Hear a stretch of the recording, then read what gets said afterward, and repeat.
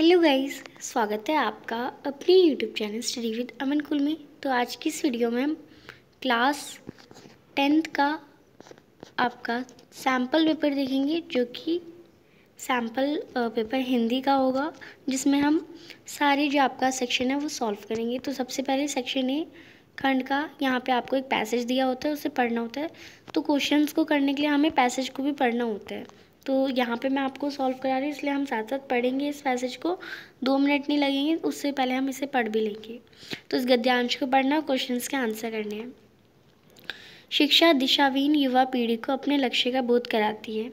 यानी शिक्षा जिनके पास किसी को पता नहीं होता कि किस डायरेक्शन में हमें अपना पढ़ना है, अपने गोल को अचीव करना है, उन्हें दिशा दिखा, उन्हें दिशा दिखाती है, लक्ष्य का हमें पता चलता है, फिर हमारा गोल असली में है क्या?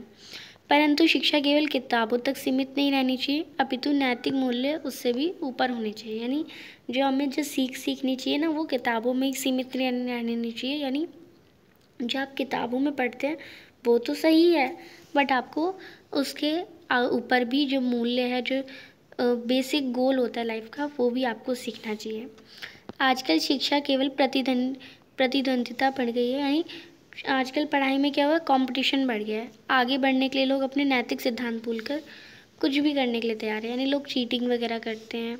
ऐसे शिक्षा का भी क्या ही फ़ायदा यदि उसे पाकर युवा वर्ग बेकारी को भट्टी में चुलस रहा हो। ऐसे में ना तो खुद का भला किया जाएगा ना ही राष्ट्र का। ऐसी स्थिति में असंतोष हृदय में जड़े जमाने लगते हैं, जिसमें आत्महत्या तक के दुखद परिणाम देखने को मिलते हैं। यानी जब कोई इस कंपटीशन में नहीं पार, नहीं अपने पार कर पाता तो वो क्या करते हैं? सुसाइड कर लेते हैं। सुसाइड के ही बहुत सारे केस आते हैं। महर्षि अरविंद ने कहा था कि यदि तुम्हें पढ़ाई करना है तो मातृभूमि के लिए पढ़ाई करो। अपने देह के लिए, अपने मन और आत्मा को उसकी सेवा का योग्य बनाओ। अपनी आजीविका कमाओ। इस भावना से कि तुम देश के लिए अपनी शिक्षा का इस्तेमाल कर सको और उसे आगे बढ़ा सको। आजकल शिक्षा जो है, उसका गलत ही फ़ायदा उठाया जाता है। ऐसा कुछ भी हो जाए जो विद्यार्थियों को सहूलियत या के विरुद्ध हो तो समूह के समूह विद्रोहबास के आक्रोश फैला देते हैं। यानी अगर स्टूडेंट के खिलाफ कुछ भी होता है, खिलाफ तो नहीं होता, सब कुछ उनके लिए ही होता है बट उन्हें कुछ भी गलत लगता है तो वो विद्रोह कर देते हैं। युवा पीढ़ी में सांस्कृतिक संस्कार का अभाव है, यानी अब आज की पीढ़ी में, आज की जनरेशन में संस्कार बहुत कम है, जिनके कारण वह दूसरों को अपने से अलग समझकर उन पर भड़कने लगते हैं और दंगा फसाद करने लगते हैं। अब संस्कार नहीं है तो वो बड़ों की सोच को इतना नहीं मानते और दंगा फसाद करने लगते हैं। तो ये आपको पैसेज दे रखा था। पैसेज को ये नहीं कि पैसेज ही बेकार था तो पैसेज को हमने सीरियस नहीं लिया। पैसेज को जैसा भी आपको पढ़ना है, उसके क्वेश्चन के आंसर तो करनी है तो पहला क्वेश्चन है, युवा पीढ़ी दंगे फसाद क्यों करने लगती है? युवा पीढ़ी में अत्यधिक ऊर्जा होती है, ये लोगों के बहकावे में आकर, या अपने अधिकारों की रक्षा के या सांस्कृतिक संस्कारों का भाव तो ये भी हमने पढ़ा, अभी दंगा फसाद इसलिए करने लगती है, क्योंकि इनके सांस्कृतिक संसारों संस्कारों का अभाव होता है। तो इसमें घ ऑप्शन आपका करेक्ट हो जाएगा। नेक्स्ट है सेकेंड क्वेश्चन आजकल शिक्षा क्या कर रही है? शिक्षा में क्या हो रही है? कंपटीशन बढ़ रहा है, यानी प्रतिद्वंदता बढ़ रही है। विद्यार्थियों को आगे बढ़ाने का मार्ग दिखा रही है प्रतिद्वंदता बढ़ा रही है, नैतिक मूल्यों का ज्ञान करा रही है, ये तो नहीं करा रही। और देश का विकास कर रही है, नहीं, ये बस प्रतिद्वंदता बढ़ा रही है तो इसमें ख ऑप्शन जो है वो करेक्ट हो जाएगा। नेक्स्ट है, यहाँ पे आपको कथन और कारण का क्वेश्चन दे रखा है। आज की शिक्षा मुकाबले प्रतियोगिता की शिक्षा बन गई है। यानी यहाँ जो आज की शिक्षा है, वो प्रतियोगिता की शिक्षा बन गई है। यानी कंपटीशन होता रहता है। यस क्योंकि आज की स्थिति में शिक्षा पाकर भी युवक बेकार है। और रीज़न भी सही है कि हाँ कंपटीशन के चक्कर में वो शिक्षा पा भी लेते हैं और तब भी बेकार हो जाते हैं, बेरोज़गार हो जाते हैं। तो कथन भी सही है, कारण भी सही है और कारण सही एक्सप्लेनेशन भी कर रहा है। तो इसमें आपका ग ऑप्शन करेक्ट हो जाएगा। नेक्स्ट है, आजकल की शिक्षा का उचित उपयोग नहीं हो पा रहा। इस कथन का आपको विकल्प छाटना है। तो क्योंकि नैतिक मूल्यों की भरमार तथा युवा पीढ़ी को उचित दिशा दर्शन या फिर युवा पीढ़ी को बेरोजगार के अवसर तथा मानसिक संतोष या युवा पीढ़ी में संस्कार, सांस्कृतिक संस्कारों का भाव, दंगा, फसाद तथा अनैतिक रास्तों का चयन तो यस, युवा पीढ़ी में सांस्कृतिक संस्कारों का भाव है, दंगा, फसाद है और अनैतिक रास्तों का चयन है तो ख ऑप्शन जो है वो करेक्ट हो जाएगा। नेक्स्ट है पांचवा क्वेश्चन आगे बढ़ने के लिए लोग क्या कर रहे हैं? बहुत परिश्रम कर रहे हैं? नहीं। दूसरे लोगों का पीछा छोड़ रहे हैं? नहीं। नैतिक सिद्धांत भूलकर कुछ भी करने के लिए तैयार है तो यस, वो लर्निंग्स को भूल चुके हैं और कुछ भी करने के लिए रेडी हैं अगर उन्हें सक्सेसफुल होना है तो। ईमानदारी से कार्य कर तो यहाँ पे ग ऑप्शन आपका करेक्ट है। अब ये छोटी सी पोएम है, इसे आपको पढ़ना है। काव्यांश को सनसनाती साँझ सूजी वायु का कंडला खनकता, झिंगुरों की खिचड़ी पर झांझ सा बिहड़ झनकता। बीच सुने में बनेले ताल का फैला अतल जल थे कभी आए यहाँ पर, छोड़ देमती दुखी नल। भूख, व्याकुल ताल से ले मछलियाँ थी जो पकाई। शाप के कारण जली ही, वह उछल जल में समाई। है तभी से सांवली, सुनसान जंगल की किनारी। है तभी से ताल की, सब मछलियाँ मैनहूस काली। हल्की जिसकी नोक से बेजान मिट्टी झूमती सभ्यता का चाँद खिलता, जंगलों की रात मिटती। रंग मिट्टी का बदलता। नीर का सब पाप धुलता। हरे होते पीत उसर, स्वस्थ हो जाती मनुजता। लाल पत्थर, लाल मिट्टी, लाल कंकड़, लाल बजरी, लाल फूले, ढंकेवान, डांग, गाती फाक गजरी तो ये कविता थी। अब इसे आपने पढ़ लिया। अब इससे रिलेटेड ही क्वेश्चन है। बंजर ज़मीन के उपजाऊ होने की वजह आपको बताना है। सावली साँझ का सुझान जंगल के किनारे, या फिर हल्के नोक से खेत को जोतना, या जंगलों की रात का मिटना, या सभ्यता के चाँद का खिलना।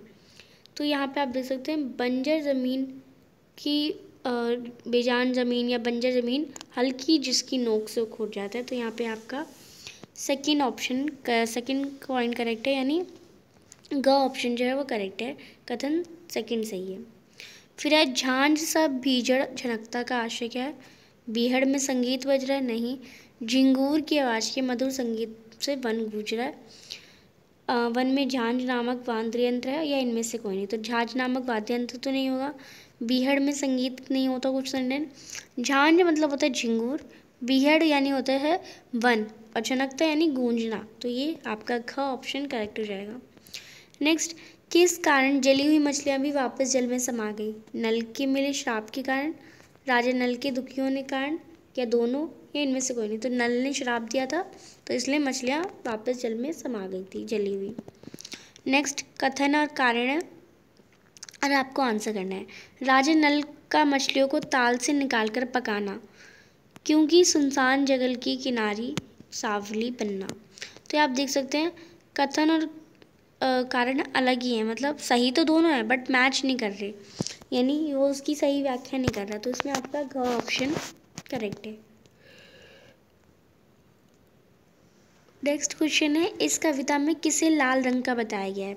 पत्थर तथा मिट्टी को, कंकड़ बाजरी को ढाक के वन के फूलों को या उपरोक्त सभी को? तो पत्थर और मिट्टी को भी बोला गया कंकड़ और बाजरी को भी बोला गया ढाक के वन के फूलों को भी बोला गया तो यानी उपयोग सभी जो है, वो आपका करेक्ट आंसर हो जाएगा।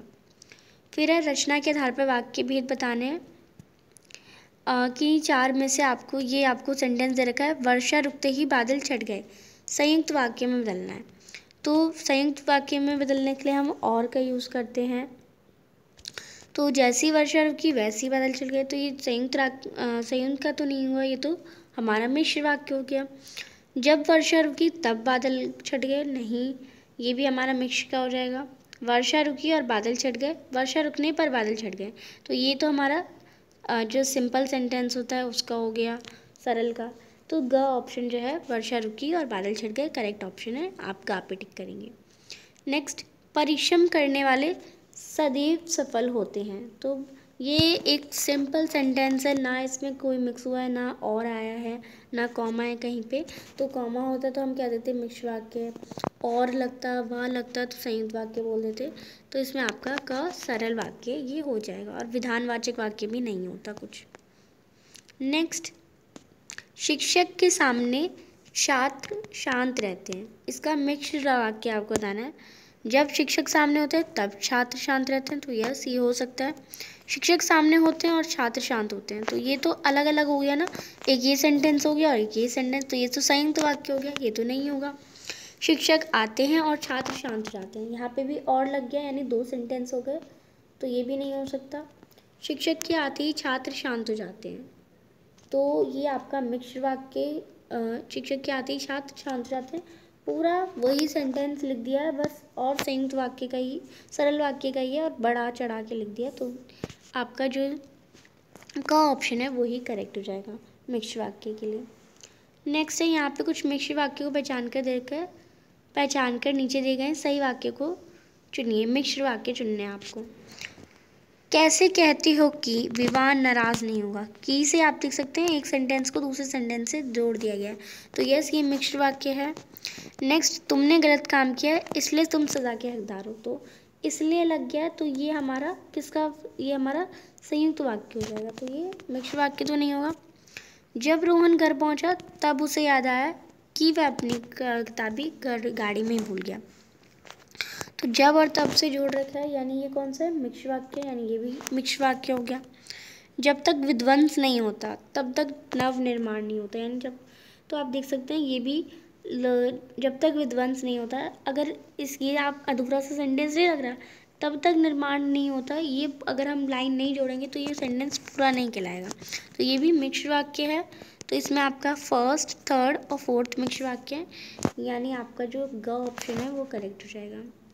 नेक्स्ट पांचवा क्वेश्चन है मैचिंग करनी है आपको। तो आप भीतर आइए और इतमान से बैठिए। और लगाया यानी संयुक्त वाक्य हो जाएगा फ़र्स्ट थर्ड में जाएगा। नेक्स्ट जिस मनुष्य में दया नहीं, वह जानवर के समान है। तो यहाँ पे आप देखिए, ये जिस मनुष्य में दया नहीं, किस मनुष्य में दया नहीं, जब तक हम इसके आगे की लाइन नहीं बोलेंगे सेंटेंस पूरा नहीं होगा तो यानी ये मिक्स वाक्य है। और जापान में चाय पीने की विधि को चा नो यू कहते हैं। यानी ये आपका पूरा एक सेंटेंस है, सरल वाक्य। नेक्स्ट क्वेश्चन है क्वेश्चन नंबर और इसे अगर हम ऑप्शन में टिक करना है तो का ऑप्शन आपका करेक्ट है। नेक्स्ट क्वेश्चन है, वाच्य आपको पहचानने हैं, वह क्या खा रहा है? तो यहाँ पे आप देखिए, जो वाच्य है, वो कर्ता वाच्य, यानी खा रहा है कौन? वह वह खा रहा है। नेक्स्ट क्वेश्चन है, कृष्णा सितार बजाती है। कर्म वाच्य में बदलना यानी कृष्णा के द्वारा सितार बजाया जाता है। ऐसे ही चेंज होता है तो यहाँ पे फ़र्स्ट ऑप्शन करेक्ट हो जाएगा। सुनीता विलियम्स द्वारा उद्घाटन किया गया। कर्ता वाच्य में आपको बदलना है, यानी आपको कर्ता प्रधान रखना है और जो है वो आपको इसे प्रेजेंट में चेंज करना है। तो सुनीता विलियम से उद्घाटन हुआ, ये तो पास्ट हो जाएगा। सुनीता विलियम उद्घाटन करती है, नहीं। सुनीता विलियम से उद्घाटन किया या सुधी सुनीता विलियम उद्घाटन करेंगी। तो इसमें आपका ग ऑप्शन करेक्ट हो जाएगा। नेक्स्ट है, दर्द के कारण वह चल नहीं सकती। भाववाच्य में बदलिए। उसके बहुत दर्द है, इसलिए वह चल नहीं सकती। नहीं, वह चल नहीं सकती क्योंकि उसको दर्द है। तो यस ये हो सकता है बट नहीं। दर्द के कारण उसे चला नहीं जा रहा, दर्द के कारण उसे चला नहीं जाता। तो ये भाववाच्य का सही वाला रूप है। तो इसमें आपका फोर्थ ऑप्शन यानी केवल फोर्थ सही है, ख ऑप्शन करेक्ट है। अब यहाँ पे आपको कर मैचिंग करनी है। माँ से अब भारी काम नहीं किया जाता तो ये यहाँ पे एक भाव स्पष्ट हो रहा है तो भाव भाववाच्य हो जाएगा। फिर निशी द्वारा संदेश भेजा जाता है, जहाँ भी द्वारा आ जाए, वो आपका कर्मवाच्य समझ लीजिए। और भारत शांति प्रिय देश है, वो भारत करता है, कर्तवाच्य, कृतवाच्य हो जाएगा आपका। तो इसमें ऑप्शन ग जो है वो करेक्ट हो जाएगा फ़र्स्ट का सेकंड में सेकंड का थर्ड में थर्ड का फ़र्स्ट में। नेक्स्ट है पद परिचय। तो पद परिचय में पहला है लता मंगेशकर। लता मंगेशकर क्या है? एक व्यक्ति है। पहले हम स्टार्टिंग के सारे में देखेंगे। वो व्यक्ति हैं, भाव है, जाति हैं या व्यक्ति हैं। तो आप देख सकते हैं, जाति और भाव तो हो ही नहीं सकते। लता मंगेशकर, एक लड़की का नाम है तो ये दोनों ऑप्शन तो हमारे कटे गए। तो का ऑप्शन और खा ऑप्शन में, घा ऑप्शन में चुनना है। अब लता मंगेशकर तो स्त्रीलिंग है ऑफकोर्स स्त्रीलिंग इधर भी है। एक ही है यस एक ही है। कर्म में लिखा हुआ है, ये आपका जो पहला वर्ड होता है वो कर्ता होता है, दूसरा कर्म में होता है। बट यहाँ तो ये कर्ता में लिखी है तो यहाँ पे कर्ता आपका करेक्ट हो जाएगा ग ऑप्शन करेक्ट है। नेक्स्ट है, हमारा देश प्रगति के मार्ग पर बढ़ रहा है। बढ़ रहा है, यानी कुछ हो रहा है काम तो ये हमारी अकर्मक क्रिया होती है। सकर्मक क्रिया, कर्मक क्रिया आपने नहीं पढ़ी तो उसे अच्छे से एक बार आपको पढ़ना है। तो सकर्मक क्रिया वाले ऑप्शन तो कट गए। आपके ख और गा बचे। अब ये हमारा देश एक वचन है या बहुवचन है? तो हमारा देश तो एक एक ही है तो एक वचन ही होगा। बहुवचन वाला ऑप्शन कट गया, यानी ये पूरा ही कट गया। देन पुल्लिंग होगा और पूर्ण और बाकी सेम है तो हमारा ख ऑप्शन करेक्ट हो जाएगा। क्वेश्चन है, यूँ ही कोई प्रधानमंत्री को नहीं मिल सकता। इसमें कोई आपको बताना है तो कोई भी, कोई निश्चय नहीं है, कोई मतलब किसी पर्टिकुलर इंसान का नाम नहीं पता है तो निश्चय नहीं होगा अनिश्चयवाचक होगा अब तीनों में अनिश्चयवाचक है सर्वनाम है। अब करेक्ट कौन सा हो सकता है? प्रधानमंत्री, कोई पुल्लिंग है तो यस स्त्रीलिंग वाला ऑप्शन जो है वो कट जाएगा यहाँ से। ये स्त्रीलिंग वाला भी यहाँ से कट गया। अब ये बचा और ये वाला बचा। अब कोई प्रधानमंत्री प्रधानमंत्री क्या बहुत सारे होते हैं? नहीं, एक ही होता है तो एक वचन आपका करेक्ट हो जाएगा, बहुवचन वाला भी कट हो जाएगा। तो फ़र्स्ट का ऑप्शन आपका करेक्ट हो जाएगा। नेक्स्ट क्वेश्चन है, सूरज दसवीं कक्षा में पढ़ता है। अब दसवीं में पढ़ता है, दसवीं क्या है? दसवीं एक विशेषण है। तो यस विशेषण यहाँ तक तो सही है। अब विशेषण है कौन सा? संख्यावाचक है संख्यावाचक है, निश्चयवाचक है, संख्यावाचक है। अब आप देख सकते हैं, तीन ऑप्शन में संख्या है। तो निश्चय तो बिल्कुल हो ही नहीं सकता। संख्या में से ही होगा। तो अब संख्यावाचक संख्यावाचक संख्यावाचक, हमने चुन लिया। अब अगर आपको पता नहीं है, आवर्ती सूचक क्या होता है, कर्म सूचक क्या होता है तो उसे छोड़ दो। नेक्स्ट है सूरज। सूरज क्या है? स्त्रीलिंग तो नहीं हो सकता तो स्त्रीलिंग वाले ऑप्शन को भी काट दो। नेक्स्ट इसमें एक वचन कक्षा विशेष है। एक वचन राकेश राकेश तो इसमें है ही तो ये घ ऑप्शन भी कट गया आपका। तो अगर यहाँ पे पुल्लिंग लिखा भी हो, तब भी ये कट जाएगा, क्योंकि राकेश जो है वो विशेष इसमें नहीं है। राकेश कुछ है ही नहीं यहाँ पे। और यहाँ पे कक्षा विशेष है, और यहाँ पे भी कक्षा विशेष है। तो इसमें आपका घ ऑप्शन इस वाले स्त्रीलिंग में या इस वाले स्त्रीलिंग में आपका कर्म सूचक आप सर्च करेंगे क्या होता है और उसे आ, करेंगे। क्योंकि ये कर्म ही कर रहा है यानी पढ़ रहा है अगर दसवीं कक्षा में है तो आ, कोई आवर्ती नहीं है कि ये समय के साथ साथ पढ़ेगा पढ़ेगा। ये कर्म कर रहा है जो अपना आ, एक काम कर्म इन द सेंस कि कोई अच्छा काम ही नहीं जो भी कोई हम काम करते हैं उसे कर्म भी कहते हैं हिंदी में। नेक्स्ट नंदू को हम कल यहीं मिले थे। मिले थे? मिले थे क्या है? क्रिया है। कौन सी क्रिया है वो आपको देखना है, क्रिया क्रिया विशेषण क्रिया। विशेषण क्रिया तो क्रिया विशेषण नहीं है, क्रिया किसी, यहाँ पे किसी विशेषता नहीं बताई जा रही। तो ख और ग ऑप्शन तो कट गए, क्रिया और क्रिया बचा अब अकर्मक क्रिया, सकर्मक क्रिया। मिले थे, यानी हो चुका है काम। अकर्मक क्रिया होगी अब पूर्ण भूतकाली है, यहाँ पे मिले थे थे से हमें पता चल रहा है कि हाँ काम हो चुका है। नंदू को हम हम यानी कि ज़्यादा लोग हैं, यानी बहुवचन दोनों में सही है। अब कृतवाच्य या कृत अब यहाँ पे बाकी सारा सेम ही है। हमने स्टार्टिंग में अंतर बता दिया। सकर्मक क्रिया नहीं हो सकती अकर्मक क्रिया है। तो आपका क ऑप्शन करेक्ट है। अब यहाँ पे अलंकार दे रखे हैं। पहला है सहस किरण जो सूरज दिपाई देखी लिलार सोई छिपी जाई। इसमें कौन सा अलंकार है? यानी किरण किरण को देख के जो सूरज होता है वो छिप जाता है। यानी इसका एक, एक पूरा डीप मीनिंग है और ये अतिशयोक्ति अलंकार यानी बड़ा चढ़ा के बोलते हैं। नेक्स्ट है, प्राची का मुख तो देखो।